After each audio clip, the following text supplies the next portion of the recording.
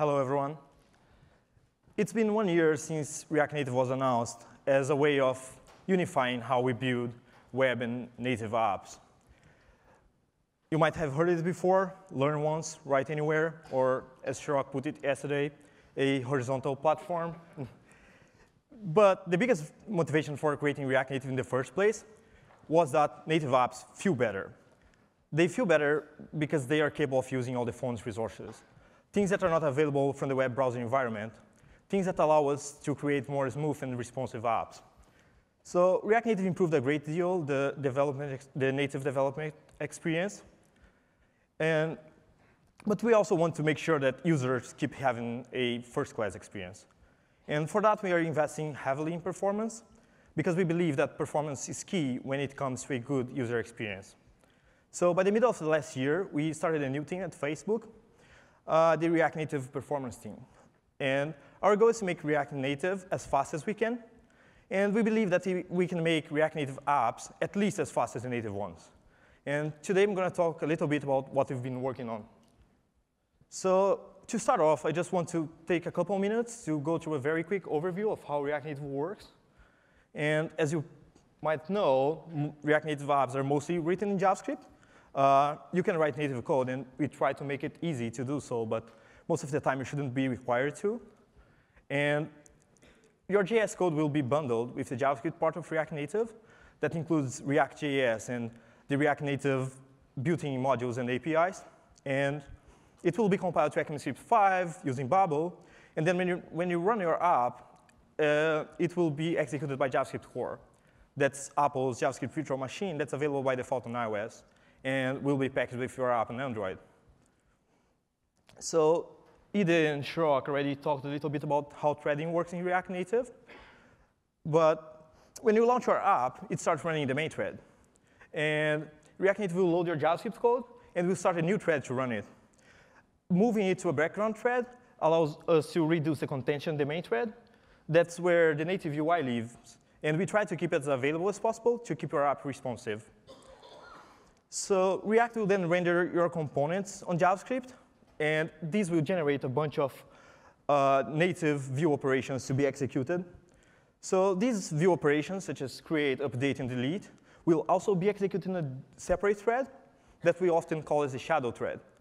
We call it that way because it only has the shadow nodes that are basically basic objects that only have the necessary information to calculate the layout.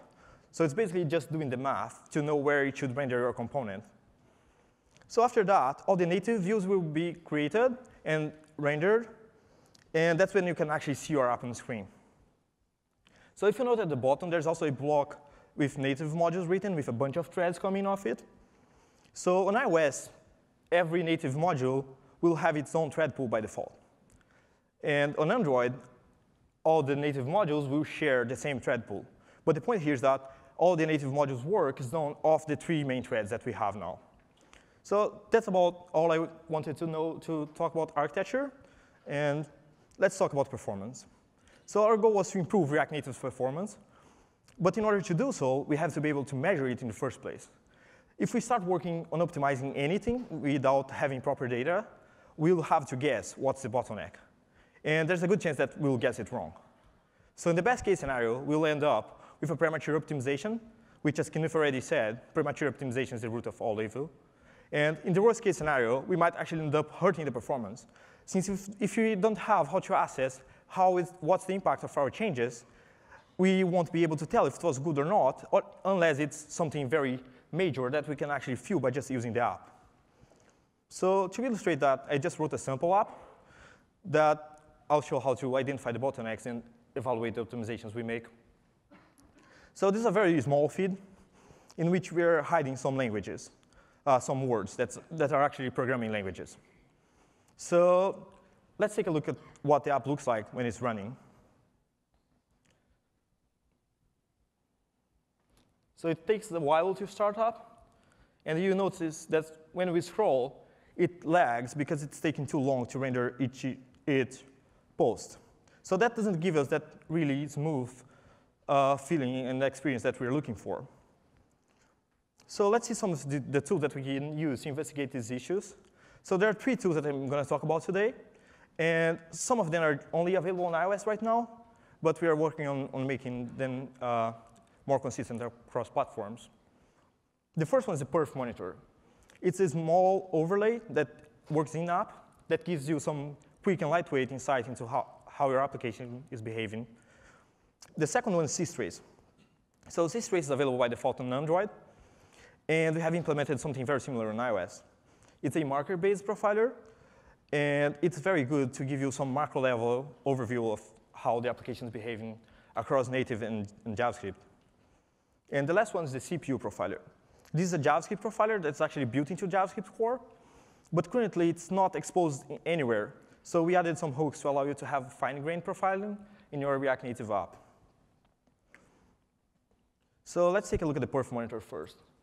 So it's this overlay, as I said, and you can drag it around, and it has up to five views.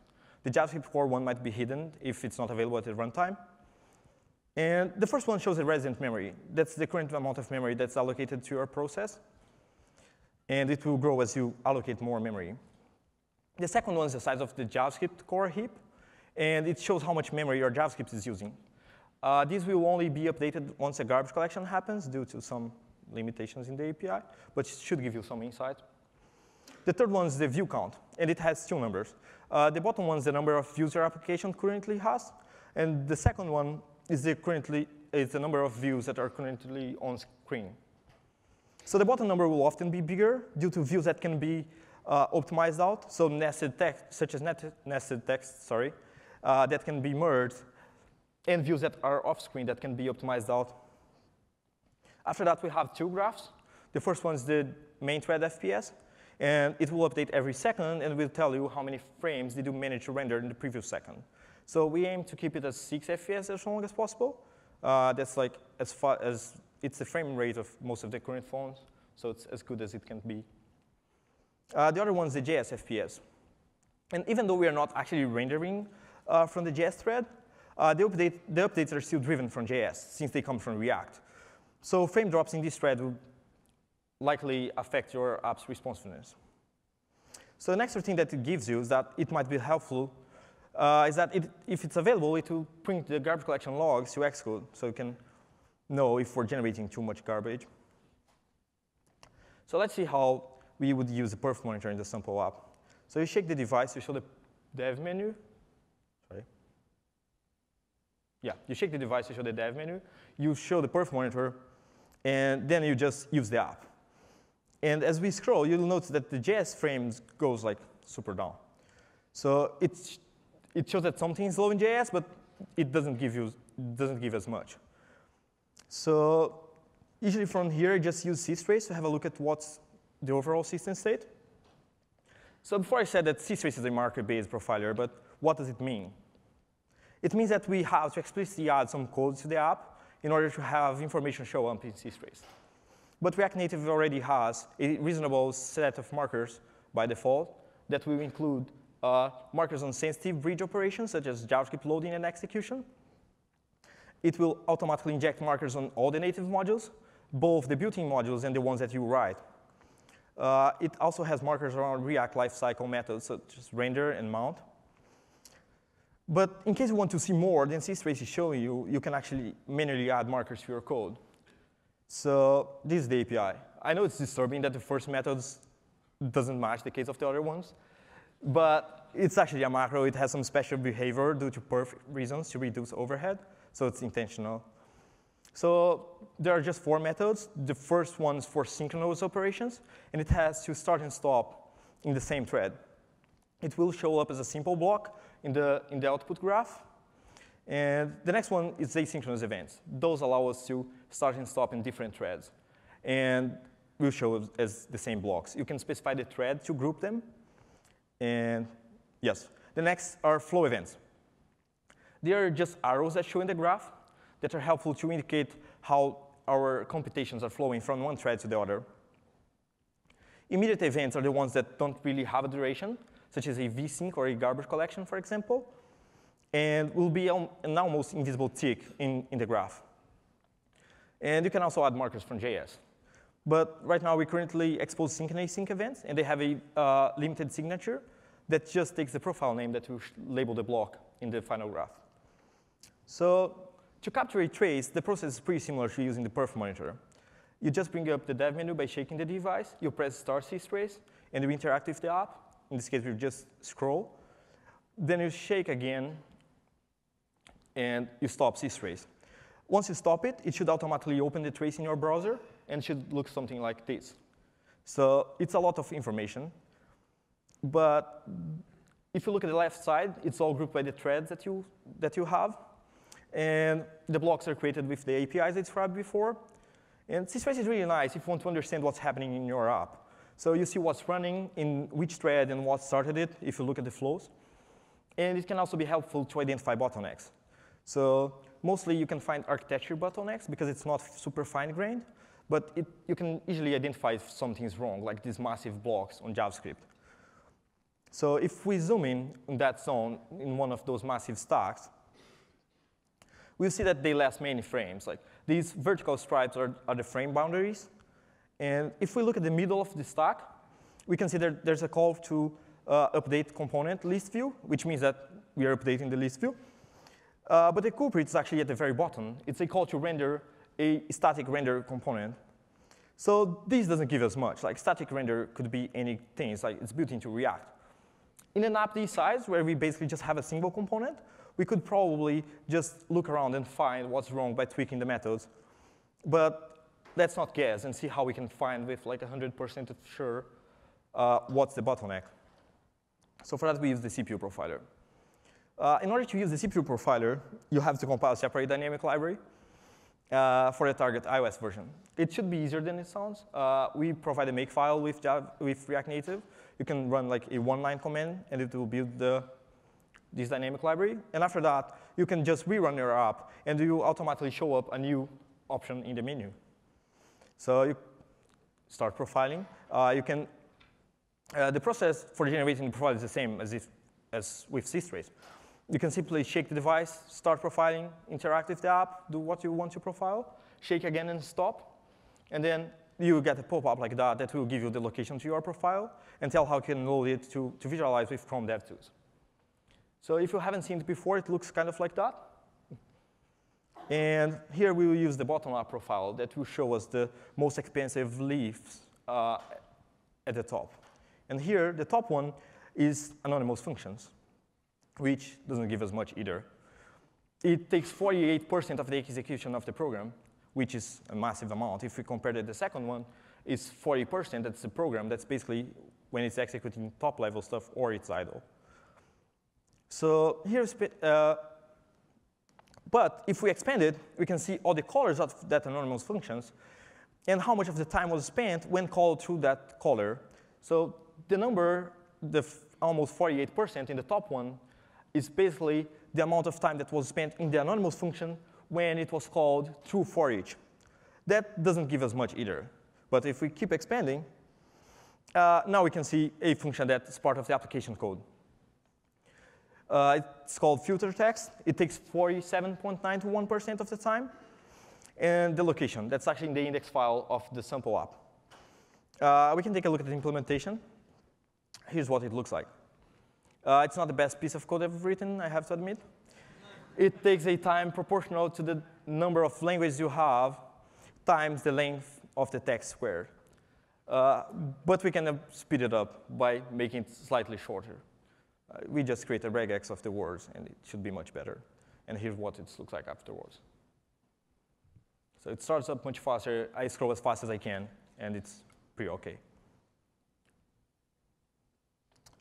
So let's talk about, now that you've seen how to optimize it, let's see what we've done to optimize, to optimize React Native. I'll split it in two parts. So product optimization, that's basically uh, what we've done to optimize our products, and hopefully it can give us some insights on how to optimize your own React Native products. And some core optimizations that, we've, that are things that we've changed the framework itself to make React Native faster. So product optimization first. And the nicest part about product optimizations is that they're, and it's something that you should keep in mind, is that React Native apps are, before anything else, React apps. So most of the optimizations that we do to products are the same that you would do to a web React app. So the first one is components keys. Uh, you, if you have a list in React, sorry, sorry, if you have a list in React and you don't put keys in your components, you get a warning saying that you should add it. That allows React to identify when you move items. So if you have a huge list and you remove the first item and you are just using array keys as the indexes, React will just delete the last component and re-render the whole thing. Uh, we had issues internally with video product. Uh, as you might have heard uh, in, this, in Steve's talk, playing video is super expensive because we have to re-render many times a second, hopefully six times a second if we, we have very good perf. So I started investigating and I ran a Systrace, and it looked kind of like that. It's OK, but you have nothing to compare with, so we don't know what it should look like. We just know that it's not good because you use the app and it feels bad. So I compared with the older version, and if you look at the JavaScript thread, it's basically the same thing. But the other two threads are doing much more work. If you look at the shadow thread at the top, and it's the second one at the bottom, at the bottom it's basically empty, and at the top it's like a massive amount of work going on. And if we zoom in the main thread to see what's going on, I select the method so you can see the list at the bottom. Hopefully, it's a little bit small.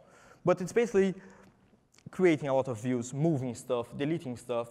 So it's redoing the whole layout every frame when rendering a video. That just doesn't work. So where in the old one, if you compare, it was just changing the transform matrix of the video that should be super cheap. So it went all crazy, redoing the whole layout just because you picked your keys wrong. So it, it was a one-line change that got the product back from less than 10 FPS to 60 FPS. The next one is should component update. You can implement should component update to take control over, over React on whether your component should update or not. And if you don't implement it, React will always try to update your component. When you change the state of the component, uh, the, it will traverse the whole subtree to check what's changed. But by implementing it, you can actually optimize your components updating strategy, allowing React to skip that whole subtree. So sometimes you have a very expensive component that takes a lot of data, but you can simply compare the data based on an ID or something like that, and that's the base case scenario. You do a quick check instead of comparing a bunch of data, and the whole re React reconciliation is much faster for that subtree. Sorry.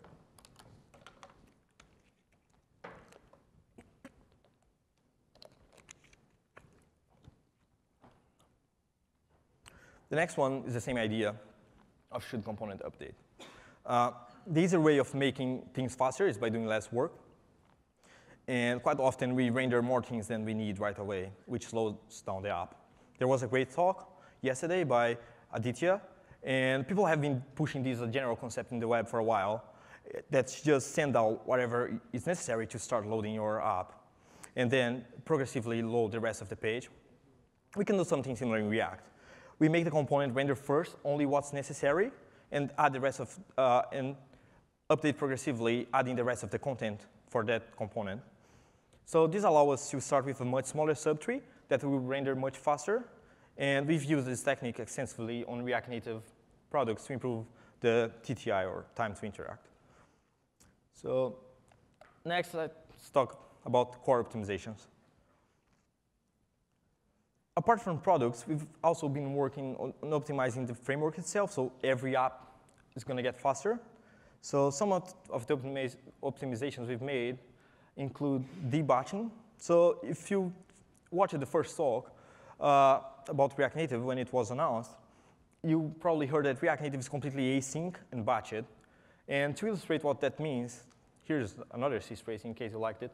Uh, so there's a lot of stuff going on. So if we break it down, we start with the initial script execution. That's when we inject your JavaScript into the VM.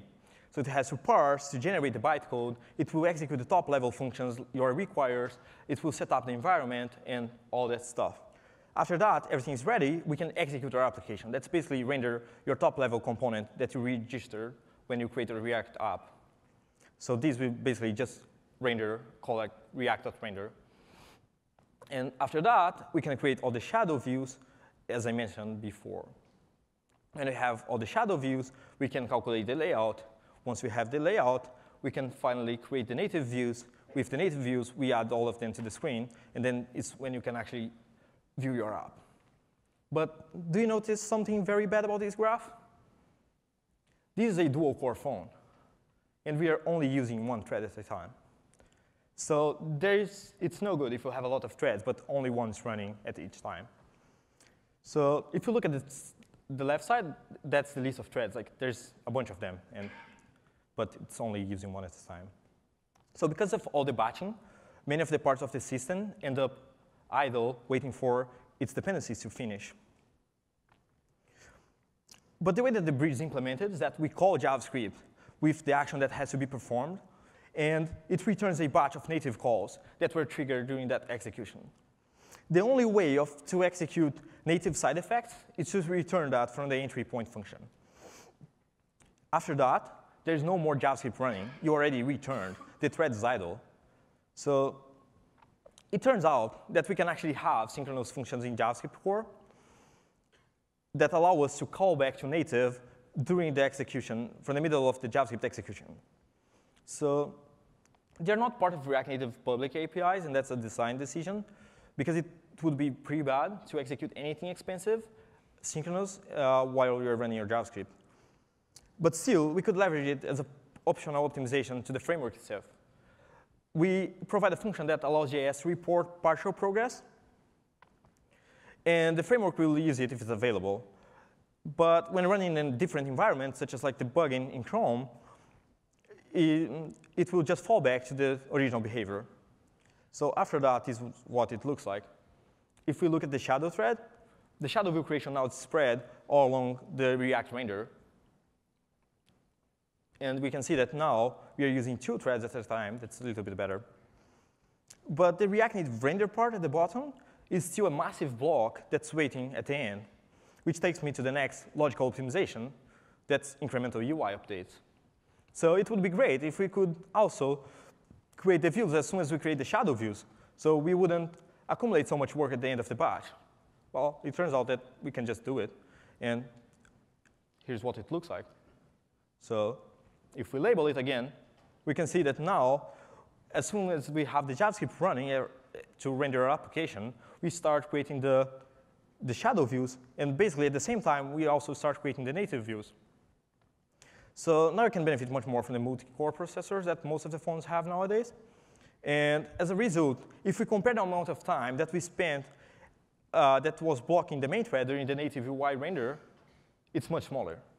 So all that huge frame is like the app was, was not responsive anymore. So with that in mind, sounds like debatching all the things is just the way to go. Let's not do anything batched anymore. But that's not how it works. Turns out that the next optimization is actually batching cache requests. yeah. So I was looking for the next thing we could make faster. And my usual workflow is that I run a systrace, I stare at it until I find something that doesn't look right. so yeah, so I ran and I saw that. It's like, OK, maybe we debatched something that we shouldn't. And if you look at that, they're all coming from the thread that's called async local storage. Uh, that's where the cache lives.